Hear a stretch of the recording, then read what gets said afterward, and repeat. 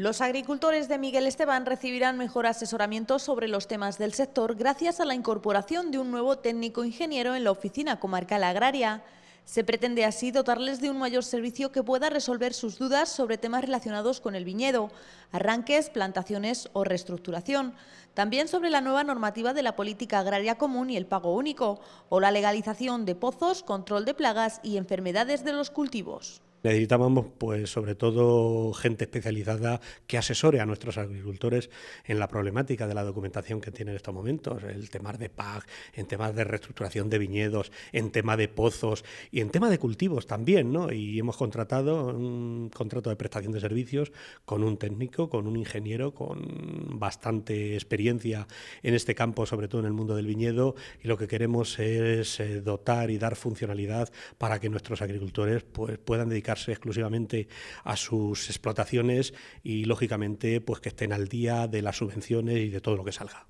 Miguel Esteban es un pueblo donde la agricultura y especialmente la viticultura tienen un gran peso en la economía local. Por ello, la incorporación a esta oficina de personal cualificado viene a completar una función primordial para ayudar a los agricultores a realizar todo tipo de trámites. Normalmente lo que más consultan es sobre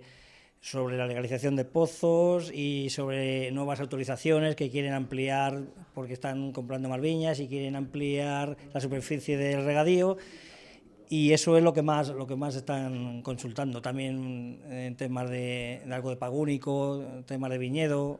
para que vean a ver si los papeles que les han mandado si